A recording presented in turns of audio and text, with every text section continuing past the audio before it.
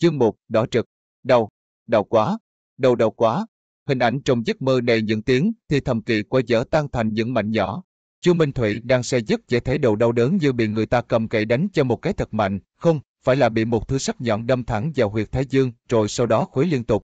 Quỳ, trong cơn mơ màng, Chu Minh Thụy muốn xoay người, muốn giơ tay ôm chặt lấy đầu, muốn ngồi dậy, nhưng hắn không thể cử động chân tay được, dường như không thể điều khiển được thân thể nữa. Xem ra là mình chưa tỉnh, vẫn còn đang mơ. Nói không chừng sẽ còn xảy ra hiện tượng cho là mình đã tỉnh, nhưng thực chất là còn đang ngủ say. Chu Minh Thụy không hề lạ lẫm gì với chuyện này, hắn cố gắng tập trung ý chí muốn thoát khỏi cái công cùng của bóng tối và sự huyễn hoặc này. Nhưng trong lúc nửa tỉnh nửa mơ này, ý chí luôn mơ hồ như sương khói, khó mà tập trung được. Dù hắn có cố thế nào, thì tư duy vẫn cứ tan rã, tập niệm xuất hiện. Đang yên đang lành, nửa đêm nửa hôm, sao đột nhiên bị đau đầu. Còn đau đớn tới mức này, chẳng lẽ xuất huyết não? Mẹ kiếp, chả lẽ ta sẽ chết sớm sao? Mau tỉnh, mau tỉnh lại nào. Ồ, hình như không còn đau như lúc nãy nữa. Nhưng đầu vẫn như bị một con dao nhỏ cắt từng miếng từng miếng ra một. Xem ra không thể ngủ tiếp, vậy thì mai đi làm thế nào được? Còn đi làm cái gì nữa? Bị đau đầu thật như này tất nhiên là phải xin nghỉ rồi. Khỏi sợ tên quản lý lại nhảy. Nghĩ như vậy cảm thấy không tệ, ha ha, thế là được nhàn trỗi một hôm. Đầu lại đau nhói khiến chu Minh Thụy không còn sức lực. Cuối cùng, hắn dốc sức động lưng mở choàng mắt, hoàn toàn thoát khỏi trạng thái nửa tỉnh nửa mơ. Tầm mắt ban đầu nhòe đi, sau đó bị phủ kín bởi một lớp đỏ trực. Nơi tầm mắt nhìn thấy, Chu Minh Thùy thấy trước mặt mình là một bàn học bằng gỗ thô sơ. Chính giữa bàn học có bày một quyển bút ký đang mở sẵn. Giấy của cuốn bút ký này thô ráp và ố vàng, bên trên là một câu được viết bởi thứ chữ kỳ quái, nét mực đen sậm, ướt và bắt mắt. Ở bên trái cuốn bút ký là một chồng sách được sắp xếp chỉnh tề, có tầm 7, 8 cuốn gì đó. Bức tường bên phải chúng thì được gắn bởi ống dẫn màu xám trắng nối tới một chiếc đèn treo tường. Chiếc đèn này mang phong cách phương Tây cổ điển, to bằng nửa đầu người trưởng thành. Bên trong là thủy tinh trong suốt, phần lồng bên ngoài được làm từ kim loại màu đen. Bên dưới chiếc đèn đã tắt đó là một lọ mực màu đen được bao phủ bởi ánh sáng màu đỏ nhạt, dễ cồ ghề bên ngoài dưới lớp ánh sáng tạo nên thứ hoa văn trông giống thiên sứ. Một chiếc bút máy màu sầm với phần thân bóng mực được đặt ở trước lọ mực, bên phải bút ký. Ngòi bút lóe lên thứ ánh sáng nhạt. Nắp bút thì nằm ngay cạnh một chiếc súng lục ổ xoay. Súng, súng lục. Chu Minh Thụy ngây ngẩn, những thứ hắn thấy trước mặt này xa lạ như thế, hoàn toàn khác xa phòng của hắn. Trong kỳ kinh ngạc và ngỡ ngàng, hắn phát hiện rằng bằng học, bút ký, lọ mực và súng lục kia đều được phủ lên bởi một tầng lụa mỏng màu đỏ trực, chính là ánh sáng chiếu vào từ bên ngoài cửa sổ. Theo bản năng hắn ngẩng đầu lên, dời tầm mắt lên cao. Giữa không trung, bên trên lớp giải nhung sân khấu thiên nga, một mặt trăng tròn màu đỏ trực như lửa treo cao, lặng lẽ tỏa ra ánh sáng. Đây, Chu Minh Thụy bỗng thấy sợ hãi, rồi hắn đứng bật dậy, nhưng đôi chân còn chưa kịp đứng thẳng, thì đầu hắn lại đau nhói ghê gớm, khiến hắn như mất đi sức lực trong phút chốc, trọng tâm toàn thân tức, thì rơi xuống, mông đập mạnh lên trên chiếc ghế dựa bằng cổ. Bịch, đau đớn không thể tạo nên ảnh hưởng gì, Chu Minh Thụy giơ tay đè lên bàn, rồi lại đứng lên, bối rối quay người nhìn nơi mình đang đứng. Đây là một căn phòng không lớn, hai bên trái phải đều có cửa ra vào. Gần sát bức tường đối diện là một chiếc giường tầng làm từ gỗ. Giữa giường và cánh cửa phía bên trái là một chiếc tủ quầy, Bên trên là tủ có cánh mở hai bên, bên dưới thì là ngăn kéo. Bên cạnh tủ quầy kia có một ống dẫn cao bằng một người, cũng màu xám trắng được lắp trên tường, nhưng nó nối với một thứ thiết bị kỳ lạ có bánh trăng và ổ trục hiện ra bên ngoài. Góc tường phía bên phải bàn học có chất một đống thứ trông giống thang cùng với các vật dụng nhà bếp như nồi đun nước, chảo sắt. Qua cửa bên phải là một chiếc gương to đã tràn nứt hai vết, phần kệ để gương được làm từ gỗ với hoa văn khá đơn giản. Chu Minh Thủy đảo mắt nhìn sang tấm gương, loáng thoáng thấy mình của bây giờ, tóc đen, mắt nâu, mặc quần áo lót sợi đây, dấp dáng gầy gò, ngũ quan bình thường, đường nét cốc cạnh. Đây là Chu Minh Thủy tức thì giật mình, hít vào một hơi khí lạnh, lòng bỗng có một suy đoán lộn xộn mà bất lực. Súng lục ổ xoay, bố trí kiểu phương Tây cổ điển, cùng với mặt trăng đỏ trực khác hẳn với trái đất, không có thứ gì là không chứng tỏ rõ một chuyện. Chẳng lẽ mình, mình xuyên diệt rồi? Chu Minh Thụy dần há hốc mồm.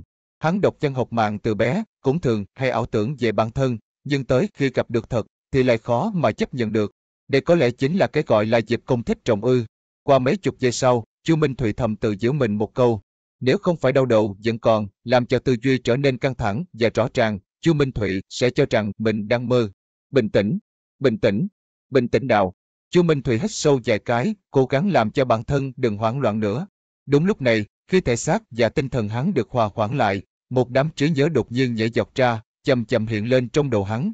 Klein Moretti, một sinh viên vừa tốt nghiệp chuyên ngành lịch sử Đại học Hội, là người của thành phố Tenen quận Akoya thuộc vương quốc Ruan ở lục địa Bắc. Cha là thượng sĩ lục quân hoàng gia, đã hy sinh trong đợt tấn công thực dân lục địa Nam. Số tiền trợ cấp từ cái chết của hắn giúp Klein có cơ hội vào học ở trường dân pháp tư nhân, làm nền tảng cho hắn thi vào đại học. Mẹ là tín đồ của nữ thần hắc dạ, mất khi Klein dự thi đỗ vào đại học hội. Hắn có một anh trai và một em gái, sống ở căn hộ hai phòng ngủ của khu nhà trọ này. Nhà hắn không giàu, thậm chí phải nói là không đủ, hiện tại toàn bộ chi tiêu đều do người anh trai hiện đang làm thư ký cho một công ty xuất nhập khẩu lo cho. Là một sinh viên đã tốt nghiệp hệ lịch sử, Klein thông thạo ngôn ngữ Fusa cổ xưa của các nước lục địa Bắc, cùng với ngôn ngữ Hermes có liên quan tới việc thờ cúng, cầu nguyện thường xuyên xuất hiện trong các lăng mộ cổ đại. Ngôn ngữ Hermes. Nghĩ tới đây, Chu Minh Thụy giơ tay đè lên huyệt thái dương đang đau như xoắn lại, quăng mắt tới cuốn bút ký đã mở sẵn trên bàn. Hắn cảm thấy dòng chữ viết trên trang giấy ố vàng kia, từ kỳ quái thành xa lạ, từ xa lạ thành quen thuộc, rồi từ quen thuộc trở nên đọc hiểu được. Đây là dòng chữ viết bằng tiếng Hermes. Nét bút sâu và đen ấy viết rằng, tất cả mọi người sẽ chết, kể cả ta. À, Chu Minh Thụy đột nhiên hoảng sợ, thân thể bỗng ngửa ra sau theo bản năng hồng kéo giãn khoảng cách với dòng chữ này. Hắn rất yếu, nên suýt thì ngã trầm, bèn dội giơ tay dịnh lấy bàn. Hắn cảm thấy không khí xung quanh như trở nên nóng nảy theo, dường như có tiếng thì thầm liên tục gian lên bên tai, hệt như hồi bé nghe người lớn kể chuyện kinh dị. Chu Minh Thủy lắc đầu, tất cả đều là ảo giác. Hắn đứng giữa người, về mất khỏi cuốn bút ký kia, há mồm thở hổn hển. Lúc này hắn nhìn sang khẩu súng ổ xoay đang lóe lên ánh sáng đồng thau, lòng bỗng có người vấn. Với gia cảnh của mình, Klein lấy đâu ra tiền và mua súng. Chu Minh Thủy nhíu mày lại. Trong lúc trầm tư, hắn thấy một nửa dấu tay màu đỏ ở góc của bàn học, màu còn đậm hơn cả màu của ánh trăng, dày hơn cả lớp lụa mỏng kia.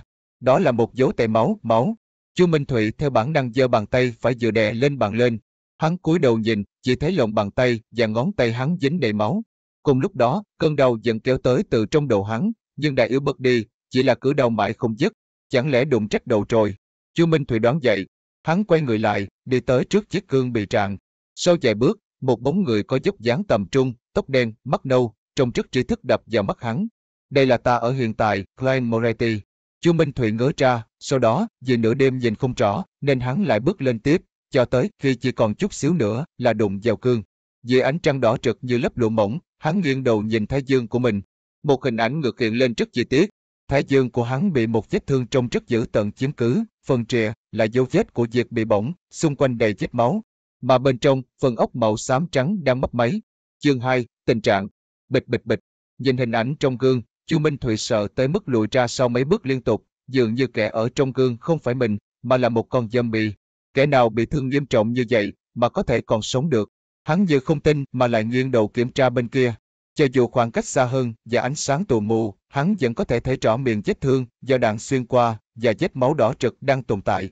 Đây, Chu Minh Thụy hít một hơi thật sâu, cố gắng khiến cho mình bình tĩnh lại. Hắn giơ tay ấn lên ngực trái, cảm nhận trái tim đang đập rất mạnh, rất nhanh, hừng hực sức sống. Lại sờ làn da trần, bên dưới lạnh lẽo là ấm áp, đang chảy xuôi.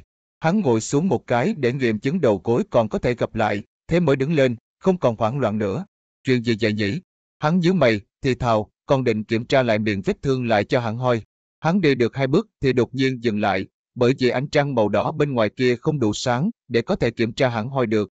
Một mảnh vỡ ký ức nhỏ bắn ra, Chu Minh Thụy quay đầu nhìn về phía chiếc đèn được bao quanh bởi một lớp lồng sắt trên tường gần sát bàn học, nơi có ống dẫn khí màu xám trắng. Đây là một loại đèn khí gas, đang được ưa chuộng, lửa ổn định, phát ra ánh sáng khá tốt. Với tình hình gia đình của Klein Moretti, thì đừng nói là đèn khí gas, cho dù là đèn dầu hỏa, cũng là vật xa xỉ, sử dụng nến mới phù hợp với thân phận và địa vị của gia đình họ. Nhưng 4 năm trước, khi hắn thức đêm học hành phấn đấu cho cuộc thi vào đại học hội, anh trai hắn là Benson cho rằng đây là chuyện rất quan trọng liên quan tới tương lai của gia đình, nên cho dù có phải phê tiền cũng muốn tạo điều kiện học tập tốt nhất cho hắn. Đương nhiên, một Benson được học hành lại đã đi làm nhiều năm chắc chắn không phải kẻ lỗ mãn, thiếu năng lực và không cân nhắc hậu quả. Hắn dùng lý do lắp đặt ống dẫn khí gas rất có ích trong việc nâng cao cấp bậc của nhà trọ, hữu ích với việc cho thuê sau này, để dụ dỗ ông chủ nhà trọ chi tiền cải tạo hệ thống ống dẫn. Còn bản thân hắn thì tranh thủ chức vụ thư ký ở công ty xuất nhập khẩu kia, mà mua được đèn khí gas kiểu mới với giá gần giá gốc. Cuối cùng là hắn chỉ dùng tới tiền tiết kiệm, chứ không hề đi về ai. Mạnh ký ức dục tắt, Chu Minh Thụy quay lại chỗ bàn học, mở ống dẫn rồi dàn chốt mở đèn. Tạch tạch tạch, tiếng ma sát đốt lửa gian lên, nhưng ánh sáng không bùng lên như Chu Minh Thụy tưởng. Tạch tạch tạch, hắn lại dặn vài cái nữa, nhưng chiếc đèn này vẫn tôi om. Ừm, Chu Minh Thụy thu tay lại, đè huyệt thái dương bên trái, nàng ốc tìm kiếm nguyên nhân từ các mảnh vỡ ký ức. Vài giây sau, hắn quay người đi tới trước thứ thiết bị nối dây ống dẫn khí gas màu xám trắng được gắn vào tường ở bên cạnh cửa. Đây là một máy tính phí gas. Nhìn ổ trục và bánh trăng lộ ra ngoài, Chu Minh Thụy móc một đồng xu ra từ trong túi quần. Đồng xu này màu ố vàng, lóe lên màu đồng kim loại. Mặt trước có khắc hình cái đầu của một người đàn ông đeo dương miệng, mặt sau thì có lũ mạch bao quanh một số một. Chu Minh Thụy biết đây là đơn vị tiền tệ cơ bản của Dương quốc Ruan, gọi là đồng penny. Một penny có giá trị tương đương với 3, 4 đồng nhân dân tệ ở nơi trước đây của hắn. Có ba loại đồng penny là đồng 5 penny, đồng nửa penny và đồng 1 phần tư penny, nhưng vẫn chưa đủ chính xác. Trong cuộc sống hàng ngày, thi thoảng người ta vẫn phải gom cho đủ để mua được đồ. Nói về đồng penny, được phát hành khi vua George đệ tam lên ngôi, lăn dài dòng giữa các ngón tay, Chu Minh Thụy mới nhét nó vào trong cái miệng dài và nhỏ nằm dọc máy tính phí gas. Lên kèn, khi đồng penny rơi xuống đáy của máy tính phí, tiếng bánh trăng chuyển động trăng trắc tức thì vang lên, tấu lên một giai điệu máy móc ngắn, nhỏ mà êm tai. Chu Minh Thụy nhìn chăm chú vài giây, rồi quay trở lại trước bàn học, giơ tay dặn chốt mở đèn. Tạch tạch tạch, phọp, một ngọn lửa bốc lên, nhanh chóng hỏa lớn. Ánh sáng đầu tiên là tỏa khắp bên trong lồng đèn, sau đó xuyên qua lớp thủy tinh trong suốt mà phủ kín căn phòng với màu sắc ấm áp. Bóng tối lùi đi, màu đỏ trực lùi ra ngoài cửa sổ.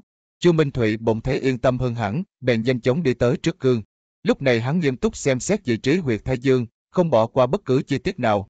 Sau khi xem xét mấy lần, hắn phát hiện ngoài dệt máu ban đầu ra, miệng vết thương trong dữ tận kia không còn chảy chất lỏng ra nữa, dường như đã được cầm máu và băng bó lại. Mà phần não đang mất máy cùng với phần da thịt ở miệng vết thương đang khép lại với tốc độ mắt thường có thể thấy được rõ, có lẽ là chừng 3, 40 phút nữa, hoặc có lẽ là 2 đến 3 giờ nữa, nơi đó chỉ còn lại dấu vết mờ. Tác dụng chữa trị của việc xuyên việc sau. Chu Minh Thụy nhếch khóe miệng bên phải, thi thào. Sau đó hắn thở dài một hơi. Mặc kệ là gì sao, chỉ ít hiện giờ hắn vẫn còn sống.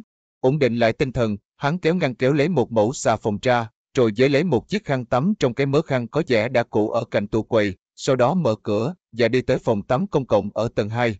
Chợt, phải xử lý vết máu trên đầu đã, kẻo cứ mang cái hiện trường vụ án này đi lại khắp nơi, hắn bị dọa không sao, chứ cô em gái Melissa phải dậy sớm ngày mai mà thấy thì lại khó giải quyết.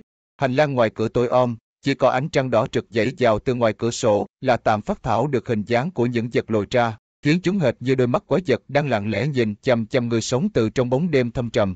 Chu Minh Thụy bước thật nhẹ, cảm thấy kinh hồn tán đảm mà đi tới phòng tắm. Bước vào trong phòng tắm, ánh trăng soi tỏ mọi thứ. Chu Minh Thụy đứng trước bồn rửa mặt, dặn dò nước. Trào trào trào, tiếng nước giang lên bên tai, hắn bỗng nhớ tới chủ nhà Frankie.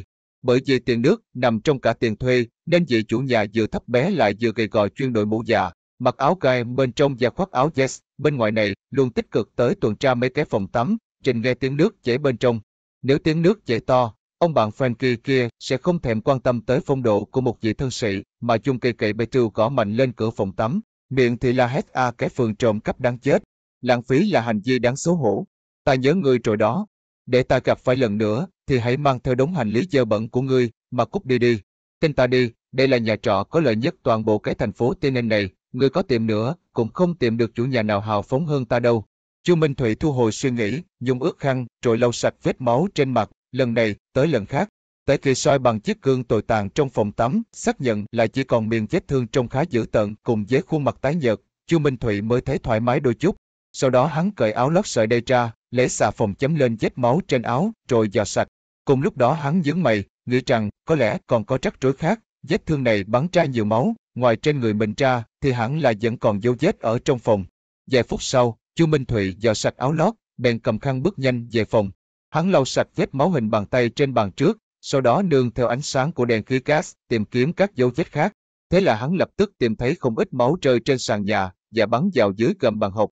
Còn ở bức tường bên tay trái thì có một đầu đạn màu vàng ống ánh. Dùng súng nã một phát vào huyệt thái dương. Manh mối trước sau tức thì trở nên mạch lạc. Chu Minh Thụy đã biết rõ hơn về cái chết của Klein. Hắn không dội nghiệm chứng mà chăm chú lau sạch vết máu, xử lý hiện trường trước, rồi mới mang đầu đạn về bàn học, rồi dàn phần ổ xoay của súng, đổ số đạn ở trong ra. Lộc cộc, tổng cộng 5 viên đạn, một vỏ đạn, cùng lóe lên ánh sáng đồng thau. Quả nhiên, Chu Minh Thụy nhìn vỏ đạn trộm kia, vừa lần lượt nhét các viên đạn vào trong ổ xoay, vừa khẽ cực độ. Hắn liếc mắt tới câu tất cả mọi người sẽ chết, kể cả ta ở trên trang sách của cuốn bút ký đang mở, lòng xuất hiện rất nhiều nghi vấn. Súng này lấy từ nơi nào? Tự sát, hay ngụy trang thành tự sát? Một sinh viên nhà bình dân tốt nghiệp chuyên ngành lịch sử thì có thể gặp được chuyện gì? Tự sát bằng cách nào mới để lại ít vết máu như vậy? Là vì ta xuyên tới đúng lúc nên nhận được phúc lợi chữa trị kịp thời. Chu Minh Thụy trầm ngâm một lát, rồi thêm một chiếc áo lót sợi đầy khác. Hắn ngồi lên ghế, suy nghĩ tới chuyện còn quan trọng hơn. Trọng điểm hiện tại cần quan tâm không phải là những gì Glenn đã gặp được, mà là biết rõ tại sao mình lại xuyên Việt, liệu có thể xuyên trở lại thế giới cũ không? Cha mẹ, người thân, bạn bè, thế giới Internet muôn màu muôn vẻ cùng với đủ món ăn ngon. Những điều ấy khiến hắn bức thiết muốn quay trở về. Tạch, tạch, tạch. Tay phải Chu Minh Thụy vô ý thích dạng ổ xoay của súng ra, rồi lại lắp nó lại, cứ lặp đi lặp lại. Hừm, khoảng thời gian này đâu có khác gì lúc trước mấy đâu, chỉ là hơi sư tiết thôi, sao bỗng dưng lại xuyên Việt được. Xui xẻo. Đúng rồi, tối hôm qua lúc ăn cơm mình có làm một nghi thức đổi giận. Một tia chấp dục lên trong đầu Chu Minh Thụy, chiếu sáng phần ký ức bị sương mù che phủ. Là một chính trị gia online, nhà lịch sử học online, nhà kinh tế học online, nhà sinh vật học online, cùng nhà dân tộc học online, đủ tư cách, hắn luôn tự nhận mình là kẻ cái gì cũng biết đôi chút. Đương nhiên bạn bè thường nhạo hắn là cái gì cũng chỉ biết chút xíu. Mà Phương Thuật thì là một trong số đó. Năm ngoái hắn về nhà, phát hiện một cuốn sách khổ dập buộc chỉ tên là Tóm lược phương thuật bị truyền thời Tần Hán ở trong một hiệu sách cũ. Thế cuốn này có vẻ thú vị, lại giúp mình có thể chém gió chém bão trên mạng, nên hắn mua về. Tiếc là, hứng thú tới nhanh, đi cũng nhanh. Loại sách viết dạng khổ dập này khiến người ta không hứng đọc, nên hắn chỉ dở xem phần mở đầu là dứt xó. Tới mấy tháng gần đây hắn gặp dần xuôi liên tục, nào là mất điện thoại, rồi khách hàng bỏ trốn, hoặc là làm sai. Những chuyện xấu liên tục kéo tới khiến hắn mới ngẫu nhiên nhớ tới phần mở đầu của tóm lược phương thuật kia có nghi thức đổi giận, mà yêu cầu rất đơn giản, không cần phải có phần căn bản gì. Chỉ cần chia món ăn đặc sắc của khu vực đang sống làm bốn phần đặt tới bốn góc của căn phòng, có thể để trên bàn, hoặc ngăn tủ. Sau đó đứng trung tâm của phòng, đi bốn bước theo chiều ngược kim đồng hồ tạo nên một hình vuông. Bước đầu tiên thì thành kính lẩm nhậm phúc sinh huyền hoàng tiên tôn, bước thứ hai thì nhậm phúc sinh huyền hoàng thiên quân, bước thứ ba là phúc sinh huyền hoàng thượng đế, bước cuối cùng thì nhậm phúc sinh huyền hoàng thiên tôn. Sau khi bước xong thì nhắm mắt lại, chờ đợi 5 phút là nghi thức được coi như thành công. Cứ nghĩ là dù sao cũng chả mất gì, nên hắn lục cuốn sách đó ra, dựa theo đó mà làm y hệt trước bữa tối, cơ mà, cơ mà lúc ấy chẳng xảy ra chuyện gì cả. Ai ngờ tới nửa đêm hắn lại tự dưng xuyên việt. Xuyên việt rồi, chắc chắn là do cái nghi thức đổi giận kia rồi. Hừm, ngày mai phải thử lại một lần. Nếu quả thật là gì nó, ta có hy vọng xuyên trở lại rồi. Chu Minh Thụy dừng động tác dàn ô xoay của súng, ngồi thẳng người dậy. Bất kể thế nào hắn cũng phải thử một lần, phải liều một phen mới được. Chương 3, Melissa. Xác định kế hoạch, Chu Minh Thụy lập tức cảm thấy kiên định. Sợ hãi, bối rối và bất an đã bị dẹp vào một xó. Cho tới lúc này, hắn mới có tâm tư xem xét kỹ những mảnh vỡ ký ức mà Klein để lại. Chu Minh Thụy đứng dậy theo thói quen, khóa gian ống dẫn lại. Nhìn đèn treo tường từ từ tối đi, rồi tắt phóc, hắn mới ngồi xuống, vừa vô ý thức rút về ổ xoay làm tự động thau của khẩu súng vừa giơ tay đè lên thái dương, lặng lặng hồi tưởng trong bóng tối bị nhuộm màu ửng đỏ hệt như một khán giả đang tập trung nhất trong trạp chiếu phim. Có lẽ là bị ảnh hưởng từ viên đạn, nên ký ức của Klein như mảnh thủy tinh dở dụng, không chỉ mất tính kết nối, mà nhiều ký ức còn bị thiếu. Ví dụ như khẩu súng ổ xoay được chế tác tinh xảo này, tới từ đâu? Là tự sát hay bị giết? Câu tất cả mọi người sẽ chết, kể cả ta trên trang bút ký kia rốt cuộc có ý gì? Hai ngày trước khi xảy ra chuyện liệu có tham dự chuyện gì kỳ quái không? Không chỉ những ký ức cụ thể này đã dở thành mảnh nhỏ, bị khuyết thiếu, mà cho dù có biết nhiều tri thức như vậy, thì với trạng thái hiện tại, Chu Minh Thụy tin rằng, nếu Klein quay về đại học, sợ rằng sẽ không thể tốt nghiệp được. Cho dù thực tế là hắn mới tốt nghiệp được vài ngày, giả lại bản thân cũng không hề lơ là. Hai ngày sau phải tham gia phỏng vấn vào hệ lịch sử của Đại học Tienen. Các trường đại học ở Dương quốc Ruin này không có truyền thống giữ sinh viên đã tốt nghiệp ở lại làm giảng viên. Giáo sư sẽ cho một thư đề cử tới Đại học Tinen và một lá khác cho Đại học Berkeley. Trong khi Chu Minh Thùy lặng lẽ quan sát, mặt trăng đỏ bên ngoài cửa sổ dần di chuyển về phía tây, rồi lặn xuống, cho tới khi ánh sáng xuất hiện từ phía đông, một màu vàng dịm sáng đường chân trời. Lúc này, có tiếng động vang lên từ căn phòng bên cạnh, rồi tiếng bước chân nhanh chóng tới gần cửa. Melissa dậy rồi. Con bé đúng là luôn luôn đúng giờ, Chu Minh Thụy mỉm cười. Bị ảnh hưởng từ ký ức của Klein, nên hắn cảm thấy Melissa là em gái ruột của mình. Nhưng mà mình làm gì có em gái? Hắn tự giữ mình một câu. Melissa không giống Benson và Klein, con bé không hoàn thành chương trình dở lòng ở trường chủ nhật của giáo hội nữ thần hắc dạ. Lúc con bé đến tuổi đi học, Dương quốc Ruan ban hành phương pháp giáo dục tiểu học, thành lập ủy ban giáo dục cấp thấp, chuyên cung cấp ngân sách, tăng vốn đầu tư. Nhưng 3 năm đã qua, với tiền đề là hợp nhất không ít trường học của giáo hội, phần lớn trường công lập sơ cấp đã được thành lập, giữ vững nguyên tắc trung lập về tôn giáo, không dính liễu tới sự phân tranh của ba giáo hội của chúa tể Bảo Táp, nữ thần hắc dạ và thần hơi nước và máy móc. So với trường học chủ nhật chỉ mất một penny cho một tuần, học phí 3 penny cho một tuần của trường học công lập sơ cấp có vẻ đắt. Nhưng ở trường chủ nhật thì một tuần chỉ học vào một ngày chủ nhật duy nhất, còn trường công lập thì học sinh sẽ đi học 6 ngày trong tuần. Tính ra thì học phí thấp tới mức gần như là miễn phí. Melissa khác với đám con gái khác, từ khi còn nhỏ con bé đã thích bánh trăng, dây cót, ổ trục linh tinh. Con bé lập chí trở thành một kỹ sư máy hơi nước. Bản thân đã trải qua giấc giả do học không đủ, lại hiểu được tầm quan trọng của giáo dục. Benson ủng hộ giấc mơ của cô em gái hệt như việc hắn ủng hộ Klein học đại học. Dù sao trường kỹ thuật Thiên chỉ được coi là giáo dục trung cấp, không phải cần phải tới trường học chân Pháp hoặc trường công để tích lũy nữa. Tháng 7 năm ngoái, lúc đó Melissa 15 tuổi, con bé đã thi đỗ kỳ thi đầu vào, trở thành một thành viên khoa máy hơi nước và cơ khí của trường kỹ thuật Thiên Học phí mỗi tuần cũng tăng lên tới 9 penny. Mà cùng lúc đó, công ty xuất nhập khẩu nơi Benson làm việc bị ảnh hưởng bởi thời cuộc ở phía lục địa Nam, nên cho dù là lợi nhuận hay lượng công việc đều sụt giảm nghiêm trọng, không thể không cắt giảm đi một phần ba biên chế. Vì giữ việc, vì duy trì sinh kế, Benson đành phải nhận những công việc nặng nề hơn, phải thường xuyên tăng ca hoặc đi công tác ở những nơi có điều kiện tồi tàn. Giống như mấy ngày nay vậy, không phải là Klein không muốn đỡ đần cho anh trai mình, nhưng vốn thuộc tầng lớp bình dân, nên khi thi vào từ một trường ngữ pháp bình thường lên đại học, hắn cảm thấy rất rõ sự thiếu sót của bản thân.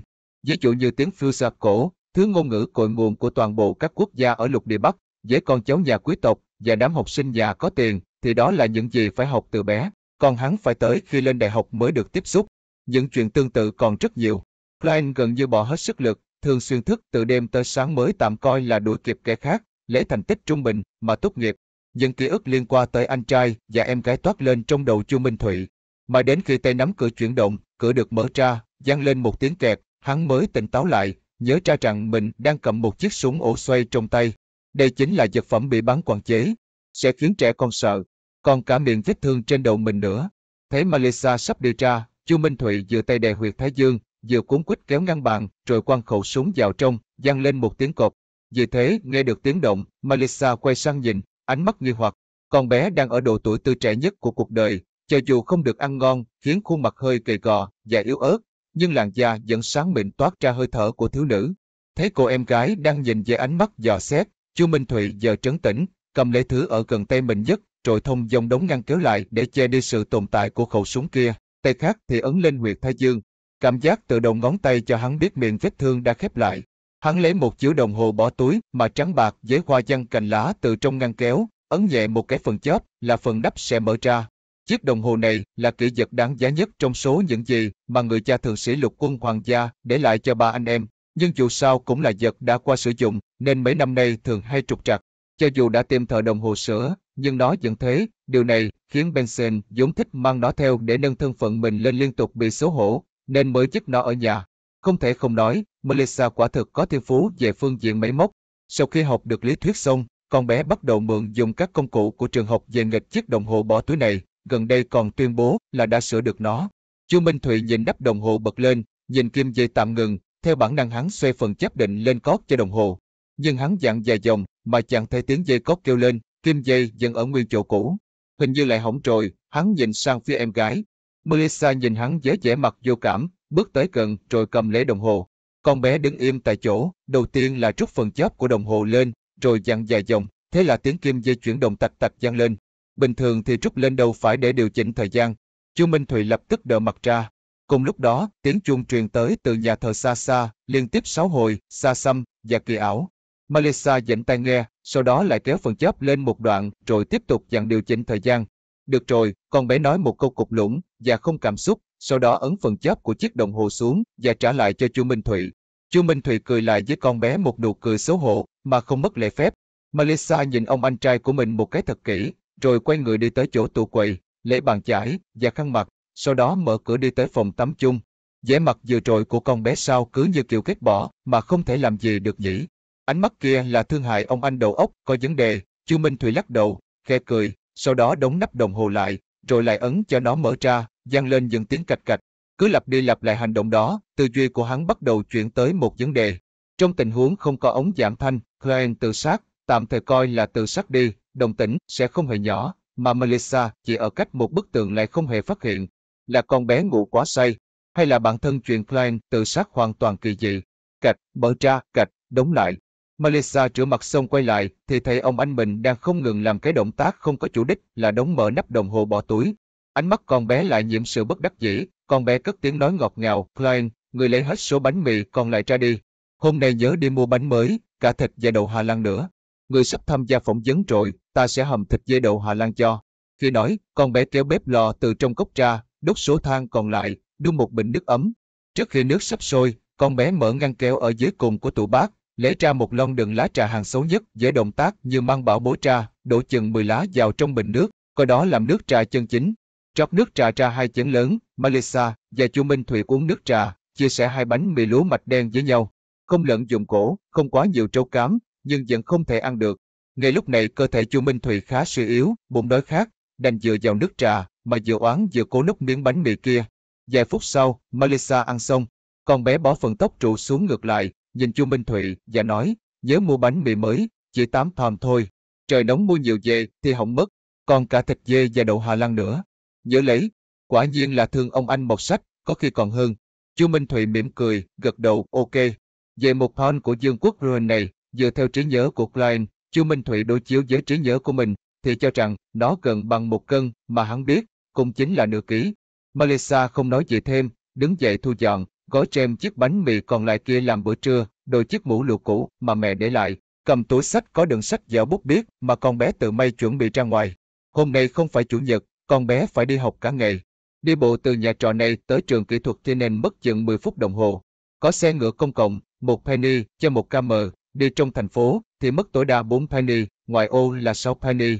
Vì tiết kiệm nên Melissa luôn dậy sớm tự mình đi bộ. Vừa mở cửa ra, con bé dừng lại, quay người nói, Glenn ngươi đừng mua nhiều thịt dê, dễ đậu Hà Lan. Có lẽ phải tới chủ nhật Benson mới về được. Ừm, nhớ là chỉ cần 8 thon bánh mì thôi đấy. Ok, ok, Chu Minh Thụy trả lời đầy bất đắc dĩ.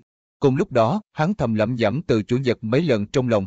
Ở lục địa Bắc, một năm cũng chia làm 12 tháng, mỗi năm có 365 ngày, hoặc 366 ngày. Một tuần cũng chia làm 7 ngày. Ở trái đất thì đây chính là thành quả của thiên văn học, làm cho chủ Minh Thụy hoài nghi rằng nơi này là thế giới song song với trái đất. Việc phân chia thời gian ở nơi này là do tôn giáo. Bởi vì lục địa Bắc có bảy vị thần linh chính thống, mặt trời vĩnh hằng, chúa tể bảo táp, thần tri thức và trí tuệ, thần hấp dạ, mẫu thần đất đai, thần chiến tranh và thần hơi nước và máy móc. Nhìn cô em gái đóng cửa đi học, Chu Minh Thụy chợt thở dài, rồi tập trung tinh thần vào nghi thức đổ giận. Xin lỗi, ta thực sự muốn về nhà. Chương 4, bói toán. Chu Minh Thụy lại ngồi trở lại ghế dựa, Mãi cho tới tiếng chuông vang lên bảy tiếng liên tục từ nhà thờ đằng xa, hắn mới chậm rãi đứng dậy, đi tới trước tủ, rồi lấy quần áo ra.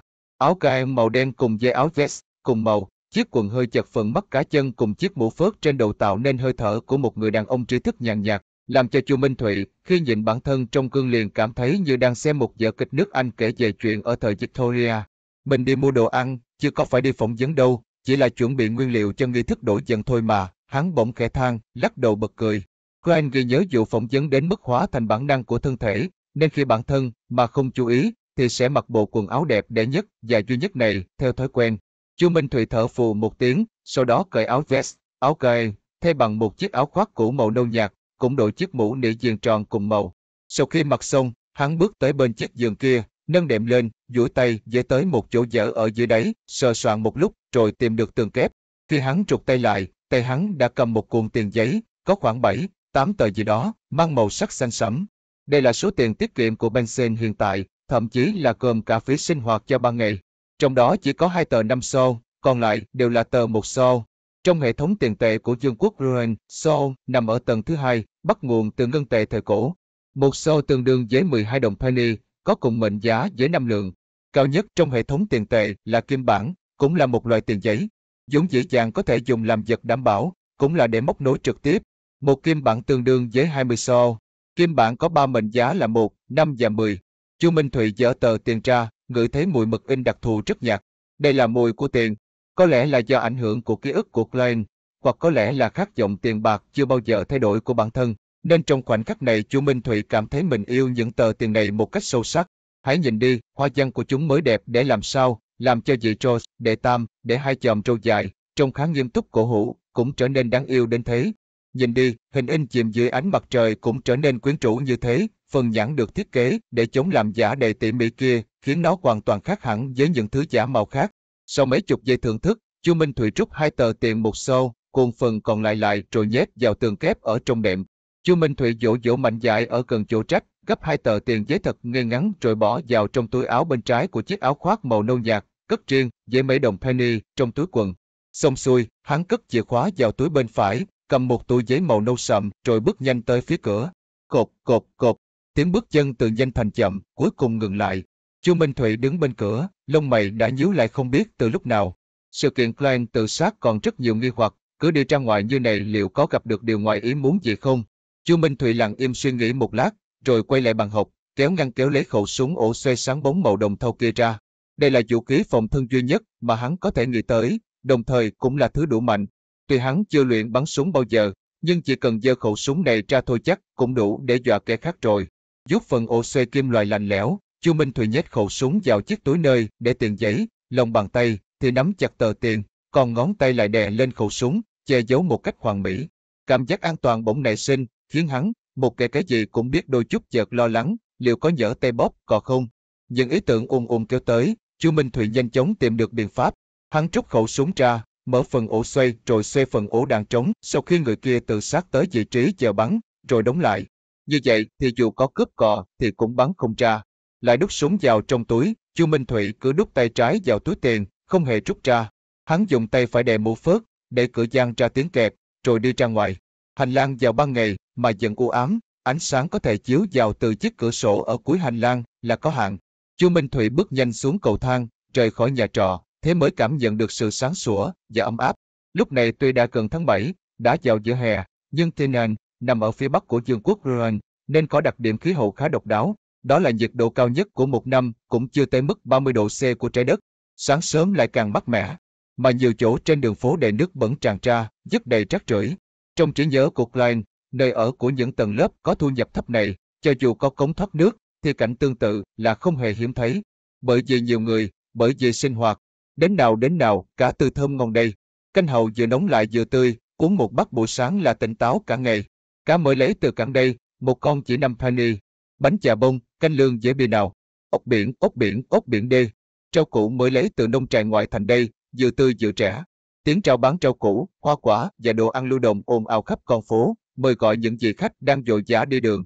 Nơi này, thi thoảng lại có người dừng lại, cẩn thận mua hàng, có kẻ lại không kiên nhẫn dung tay vì hôm nay còn chưa có thông tin gì về công việc.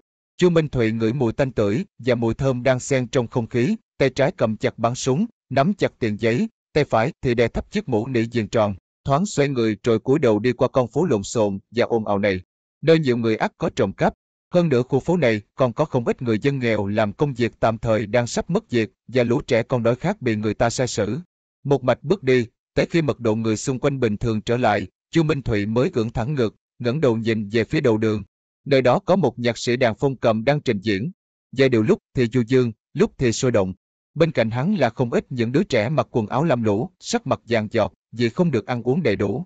Bọn chúng nghe âm nhạc, dựa theo nhịp điệu, mà uốn éo cơ thể theo bản năng, tự mình sáng tạo ra điều nhảy. vẻ mặt bọn chúng đầy khoái hoạt, tự như mình là một hoàng tử bé hay một thiên sứ nhỏ. Một người phụ nữ với vẻ mặt chết lặng đi qua, làng giấy cô bẩn, da thịt sạm đi.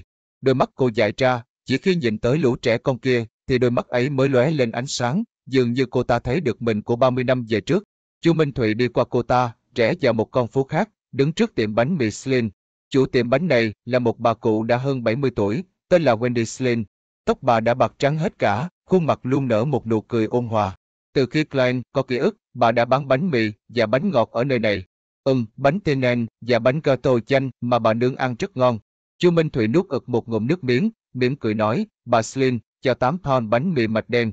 Ô, Klein nhỏ bé, Benson đâu rồi? Vẫn chưa về à? Wendy cười tủm tỉm hỏi. Mấy ngày nữa, Chu Minh Thủy trả lời hàm hồ. Wendy vừa lấy bánh mì mạch đen vừa cảm thán, thằng bé đúng là chăm chỉ, sẽ lấy được cô vợ tốt. Nói tới đây, bà nhếch khóe miệng tạo ra nụ cười có vẻ bướng bỉnh, nói giờ thì tốt rồi. Người đã tốt nghiệp, hệ lịch sự của đại học Hồ chúng ta cơ mà. Ừm, người sẽ kiếm được tiền nhanh thôi, và đừng có ở lại cái nhà trọ bây giờ nữa, chỉ ít phải kiếm chỗ nào có được phòng tắm cho riêng mình ấy. Bà Slin, hôm nay trông bà hệt như một quý cô trẻ tuổi, và hoặc bắt dậy, Chu Minh Thụy chỉ có thể cường cười đáp lại. Nếu Klein có thể phỏng vấn thuận lợi trở thành giảng viên của Đại học Tinen, như vậy quả thực là kinh tế của cả gia đình sẽ leo lên bậc trung bình. Trong những mảnh vỡ ký ức, hắn thậm chí còn ảo tưởng tới việc thuê một tòa nhà của riêng mình ở khu ngoại ô. Tầng 2 thì có 5 căn phòng, hai phòng rửa mặt, một ban công lớn. Tầng dưới thì có hai phòng, một nhà ăn, một phòng khách, một nhà bếp và một phòng tắm, kèm theo một tầng hầm nữa. Để không phải là hy vọng xa vời. Kể cả giảng viên thực tập ở Đại học Tenen, thì lương một tuần cũng đã được hai kim bản, khi thành giảng viên chính thức thì sẽ là ba kim bản 10 sao. Nên biết rằng Benson đi làm đã nhiều năm, lương một tuần mới được một bản 10 sao. Còn công dân bình thường ở trong nhà máy thì thậm chí còn không đến một bản hoặc hơn một bản một chút. Mà một tòa nhà riêng như vậy thì tiền thuê phải từ 19 xô tới một bản 18 xô. Đây là sự khác biệt giữa thu nhập 3, 4 nghìn một tháng và 14, 15 nghìn một tháng, Chu Minh Thùy thầm nói một câu. Nhưng điều kiện tiên quyết cho tất cả đó là có thể thông qua phỏng vấn vào Đại học Tenan hoặc Đại học Barclay. Về phần con đường khác, người không có gia thế không thể được đề cử trở thành nhân viên chính phủ, mà học lịch sử thì phạm vi tìm việc lại càng hẹp bởi các vị quý tộc, ngân hàng hoặc trường công nghiệp không có nhiều nhu cầu tìm cố vấn riêng. Nghĩ đến việc những tri thức mà Klein nắm được cũng trở thành mảnh dở, không được hoàn chỉnh, Chu Minh Thụy cảm thấy rất xấu hổ và chột dạ trước sự chờ mong của bà Slin. Không, bà lúc nào mà chẳng trẻ như vậy, Wendy trả lời hóng hỉnh. Lúc nói chuyện, bà cho 16 chiếc bánh mì mạch đen đã được cất lượng sẵn vào trong chiếc túi giấy lớn màu nâu sậm mà Chu Minh Thụy mang tới, chia tay phải ra, chính penny. Mỗi một chiếc bánh mì mạch đen nặng khoảng nửa pound, mà sai lệch là điều không thể né tránh. Chính penny, không phải hai ngày trước là 11 penny sao? Chu Minh Thụy hỏi theo bản năng. Mà tháng trước thì phải mất 15 penny. Người phải cảm ơn việc dự luật ngũ cốc đã bị hủy bỏ, cảm ơn đám người biểu tình ấy. Wendy giang hai tay, cười nói. Chu Minh Thụy gật đầu, cái hiểu cái không. Trí nhớ của hắn về chuyện này không được hoàn chỉnh, chỉ nhớ rõ điều cốt lõi của dự luật ngũ cốc là bảo vệ giá nông sản của quốc gia. Khi giá cả tăng lên tới một mức nhất định, thì không nhập lương thực của các nước ở phía Nam như Feinbach, Maastricht hay Renbob. Vì sao người ta phải biểu tình phản đối dự luật này? Chu Minh Thụy không nói gì thêm. Vì sợ rút cả khẩu súng lục ổ xoay ra, hắn chỉ có thể cẩn thận móc tiền giấy, lấy một tờ, rồi đưa cho bà Slim. Nhận được ba đồng penny tiền thừa, hắn nhét vào túi quần, rồi ôm túi giấy đựng bánh đi tới chợ rau diếp và thịt ở cách nơi này một con phố để mua thịt dê hầm đậu Hà Lan mà cô em gái đã dặn. Nơi giao nhau giữa phố chữ thập sắc và phố hoa Thủy Tiên là một quảng trường thị chính. Rất nhiều lều trại được dựng lên ở nơi đây, có những tên hệ ăn mặc kỳ quái buồn cười đang phát tờ rơi ở xung quanh. Tối ngày mai, biểu diễn siết, Chu Minh Thụy liếc tờ rơi trong tay người khác, thì thào đọc nội dung sơ lược. Melissa sẽ thích lắm đây. Không biết giá vé vào cửa như nào. Vì thế, Chu Minh Thụy đi tới bên đó. Hắn đang định hỏi một tên hệ mặc bộ đồ đỏ vàng đang xen, bỗng một giọng nữ khàn khàn vang lên bên cạnh, muốn xem bói không. Chu Minh Thụy quay đầu lại nhìn theo bản năng, thì thấy một người phụ nữ mặc váy dài màu đen, đội một chiếc mũ nhọn đang đứng cạnh một cái liều thật bé. Mặt cô ta bôi những dệt màu đỏ và vàng, đôi mắt màu lam sầm sâu sắc. Không, Chu Minh Thủy lắc đầu trả lời. Hắn làm gì có tiền mà đi xem bói. Người phụ nữ này cười nói, ta bói bài tarot chuẩn lắm. Tarot, Chu Minh Thủy sừng sốt. Từ này nghe phát âm thì giống với bài tarot ở trái đất vậy nhỉ. Ở trái đất, bài tarot chính là một loại tú lơ khơ của thầy bói, chính là những lá bài có hình vẽ tượng trưng riêng. Chờ chút, hắn bỗng nhớ tới sự tồn tại của bói bài tarot ở thế giới này. Nó không bắt nguồn từ bảy vị thần chính thống, cũng không lưu truyền từ thời xa xưa, mà là do quan chấp chính nước Cộng hòa Antes, là Russell Gustav phát minh ra từ hơn 170 năm trước. Vì Russell này phát minh ra máy hơi nước, cải tiến thuyền buồm, lật đổ sự thống trị của vương quốc Antes, cũng được giáo hội thần công tượng thừa nhận, trở thành vị quan chấp chính đầu tiên của nước Cộng hòa mới. Sau đó hắn Nam chinh Bắc chiến, đưa các nước như Renbot vào dòng bảo hộ, làm cho các cường quốc Bắc lục địa như vương quốc Ren, Feinbach, Fusat phải cúi đầu thần phục. Sau đó hắn đổi tên nước Cộng hòa thành đế quốc, và tự xưng là Caesar đại đế. Đúng là trong thời kỳ Russell thống trị, giáo hội thần công tượng nhận được phần lời dặn dò từ thần công khai đầu tiên trong kỷ thứ năm, đổi danh xưng thần công tượng thành thần hơi nước và máy móc. Russell còn phát minh ra bói bài tarot, cùng thiết lập cấu trúc quân bài và cách chơi. Nơi này còn có vài loại hình mà chu Minh Thụy quen thuộc, ví dụ như thăng cấp, đấu địa chủ, Texas Queen. Mặt khác, hắn còn phải đội tàu tìm được con đường an toàn thông với năm lục địa trong bão táp và dòng nước hỗn loạn, mở ra thời đại thực dân. Đáng tiếc là khi hắn về già thì bị phản bội, cho tới năm 1198 ở kỳ thứ năm, thì bị giáo hội mặt trời Vĩnh Hằng, gia tộc Soren, kẻ đã lập nên dương quốc Antes, liên hợp với các quý tộc khác ám sát, chết ở cung Bạch Phong.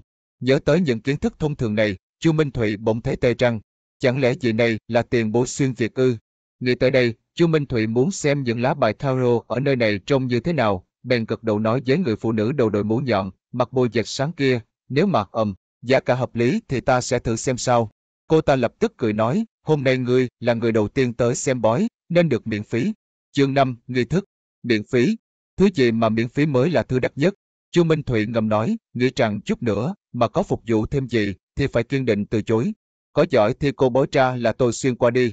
Nghĩ tới đây, Chu Minh Thụy đi theo người phụ nữ mặc bôi dệt sáng kia bước vào trong chiếc lều thấp bé. Lều này khá tối, chỉ có chút ít ánh sáng trót vào, mơ hồ soi sáng một cái bàn đầy những lá bài. Người phụ nữ đội mũ nhọn lại không hề bị ảnh hưởng bởi sự u tối đó, vòng qua chiếc bàn, làn giấy dài đen kia như bồng bềnh trên nước. Cô ta ngồi vào phía đối điện, rồi đút ngọn đến lên. Ánh sáng mờ mờ lay lắc, khiến lều giấy này lúc sáng lúc tối, trông khá thần bí. Chu Minh Thụy bình tĩnh ngồi xuống, đảo mắt qua những quân bài tarot trên bàn, phát hiện ra đều là những lá bài chính mà mình biết, như là pháp sư, hoàng đế, người treo ngược, hoặc chỉ huy. Chẳng lẽ đồng chí Russell thật là tiền bối của mình? Không biết có phải là đồng hương của đế quốc ăn tham của ta không? Chu Minh Thụy giật giật khóe miệng, lòng hốt hoảng. Hắn còn chưa kịp nhìn hết tất cả các lá bài được lật ra trên bàn, thì người phụ nữ tự gọi mình là bói toán rất linh nghiệm, đã gom hết tất cả các lá bài thao lô lại, xếp chồng và đặt ra trước mặt hắn. Người hãy xào bài và chia bài đi, vì thầy bói trạp xiết này nói với giọng khang khang. Ta xào bài sao? Chu Minh Thùy hỏi theo bản năng. Dệt đỏ dệt vàng trên mặt vị thầy bói này mất máy, cô ta cười khẽ, nói, đương nhiên, chỉ có bản thân người muốn xem bói mới bói ra được vận mệnh của mình, ta chỉ là kẻ giải độc mà thôi. Chu Minh Thùy tức thì cảnh giác, hỏi tiếp, có thu phí giải độc không? Là một nhà dân tộc học online, mấy cái chiêu trò tương tự này hắn gặp nhiều lắm rồi. Thầy bói sửng sốt, rồi lúc sau mới trầu trị đáp, miễn phí. Chu Minh Thùy yên tâm, lại nhét khẩu súng lục ổ xoay vào trong túi tiền, sau đó thẳng nhiên giơ hai tay mà thuần thục sáu bài, chia bài.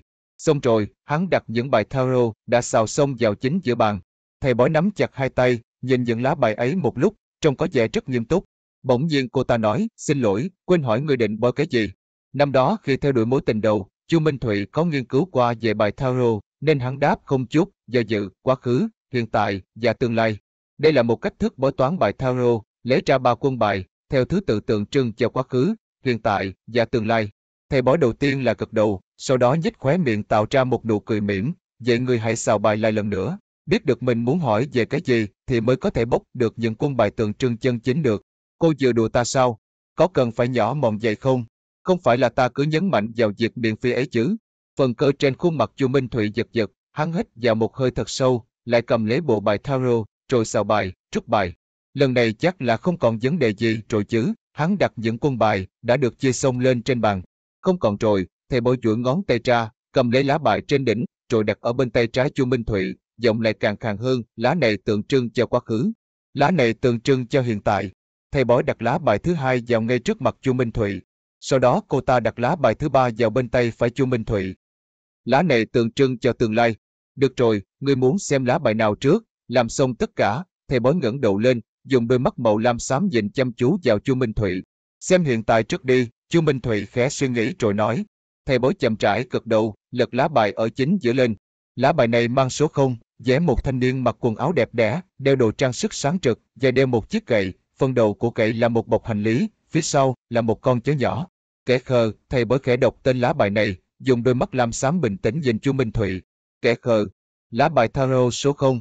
Bắt đầu, bắt đầu của tất cả những khả năng, Chu Minh Thụy vốn không được coi là một kẻ yêu thích tarot sơ cấp, chỉ có thể dựa theo ấn tượng mà nghĩ như vậy.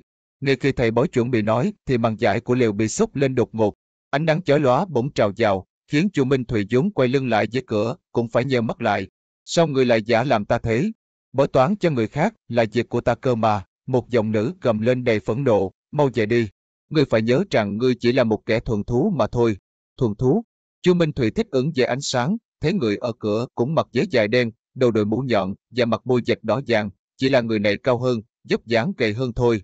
Người phụ nữ ngồi trước mặt hắn dội vàng đứng lên, ấm bức nói.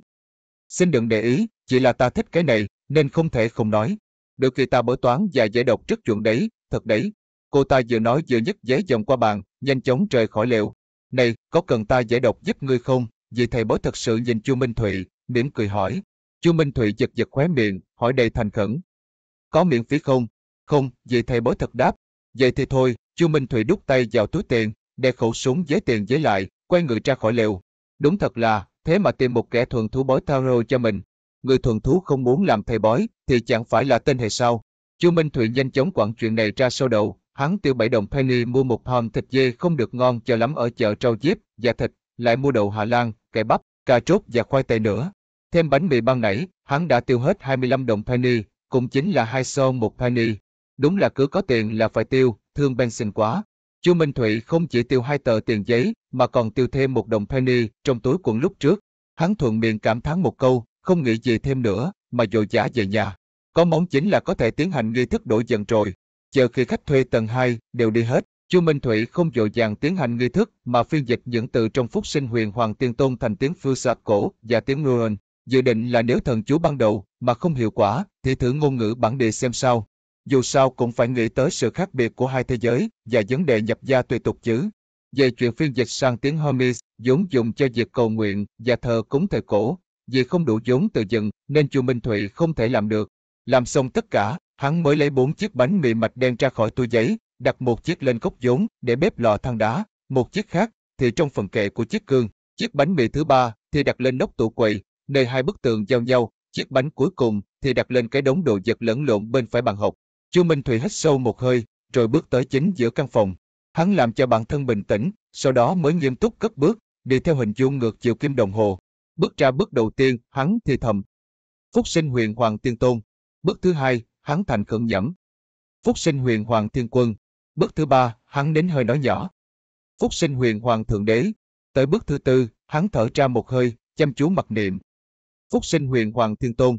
Sau khi đi tới vị trí ban đầu, Chu Minh Thụy nhắm mắt lại chờ kết quả, lòng hắn vừa mong đợi, vừa bất an, vừa sợ hãi. Có về được không? Sẽ có hiệu quả chứ? Sẽ không xuất hiện bất cứ điều gì ngoài ý muốn chứ? Bóng tối trước mặt bị nhuộm với màu đỏ trực tới từ ánh sáng bên ngoài, những dòng suy nghĩ cứ tuôn trào trong đầu Chu Minh Thụy, khó mà lắng lại được. Đúng lúc này, hắn bỗng cảm thấy không khí xung quanh như ngừng chảy, trở nên sền sệt và kỳ quái.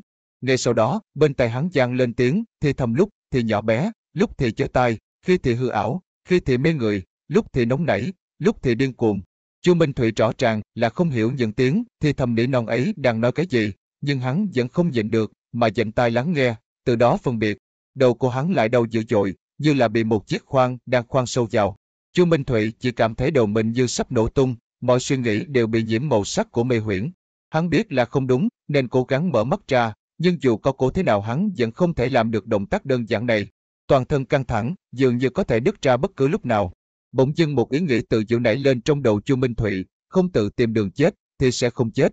Khi hắn không thể chịu được nữa, sợi dây trong đầu như sắp bị kéo đứt, thì vô số tiếng, thì thầm ấy bỗng lùi đi, xung quanh trở nên vô cùng yên tĩnh, bầu không khí như lơ lửng. Không chỉ bầu không khí, Chu Minh Thụy cảm thấy cả thân thể mình cũng đang lơ lửng. Hắn lại thử mở mắt ra, lúc này lại có thể mở mắt một cách vô cùng thoải mái. Một màn sương mù màu xám ngập tràn khắp nơi đập vào mắt hắn, mông lung, mơ hồ, không có giới hạn. Đây là thế nào? Chu Minh Thụy ngạc nhiên nhìn xung quanh, rồi khi hắn cúi đầu xuống thì phát hiện mình đang lơ lửng ở bên rìa màn sương mù mênh mông vô ngần kia. Sương mù xám này như dòng nước đang chảy. Điểm xuyết cho dòng nước ấy là vô số những ngôi sao đỏ trực, có to có nhỏ. Có cái dấu kính ở sâu trong màn sương xám, có cái lại nổi lên ngay bề ngoài. Nhìn cảnh tượng như trong tranh vẽ này, Chu Minh Thụy nửa mê hoặc nửa thăm dò, mà giơ tay phải ra hồng chạm vào một ngôi sao đỏ trực đang lơ lửng bên ngoài sương xám, nhằm tìm cách rời khỏi nơi này. Khi ngón tay hắn vừa chạm vào bề mặt ngôi sao này, dàn nước bỗng nhiên trào ra từ trên người hắn, kích thích cho đỏ trực bùng lên hệt như pháo hoa đầy mộng ảo. Chu Minh Thụy hoảng sợ, bối rối thu tay phải lại, nào ngờ lại bất cẩn đụng vào một ngôi sao đỏ trực khác. Vì vậy ngôi sao này cũng tỏa ra ánh sáng. Thế là Chu Minh Thụy cảm thấy đầu óc trống trống, tinh thần tan rã. Trong một biệt thự xa hoa, nằm ở khu hoàng hậu ở thủ đô Parkland của vương quốc Rouen, Audrey Hall ngồi trước bàn trang điểm, tay chuột về một chiếc cương đồng có hoa văn cổ xưa, bề mặt đã bị nứt. Ma kính, ma kính, mau thức tỉnh. Ta lấy danh nghĩa gia tộc hôn lệnh cho người thức tỉnh. Cô ta đổi đủ mọi cách nói, nhưng chiếc cương kia vẫn không hề phản ứng chút nào. Mười mấy phút đồng hồ sau, cô quyết định từ bỏ, ấm bức lầm bầm. Đúng là cha lừa mình mà, lần nào cũng kể cho mình rằng chiếc cương này là món bảo vật quý báu của hắc hoàng đế của đế quốc Solomon cổ đại, là vật phi phàm. Cô còn chưa nói xong, chiếc cương đồng trên bàn bỗng phóng ra thứ ánh sáng đỏ trực, lập tức bao trùm lấy cô ta. Trên biển Sunia, một con thuyền buồm với ba cột buồm, trông rõ là lạc hậu so với thời đại, đang đi xuyên qua cơn bão. Arjes Wilson đứng trên bông tàu, thân thể nhấp nhô theo chiếc thuyền trồng tranh, thoải mái duy trì được sự cân bằng. Hắn mặc một áo choàng dài có theo hình tia chớp, một tay thì giơ một bình thủy tinh có hình dáng kỳ quái. Trong bình là bọt khí lúc thì quay cuồng, lúc thì tụ lại thành tuyết, khi thì có gió thổi qua cạo ra dấu vết. Còn thiếu máu của cá mập quỷ nữa, Arches, thì thào. Đúng lúc này, bình thủy tinh và lòng bàn tay hắn bỗng trào ra màu đỏ trực, chỉ giây lát đã che phủ mọi thứ xung quanh.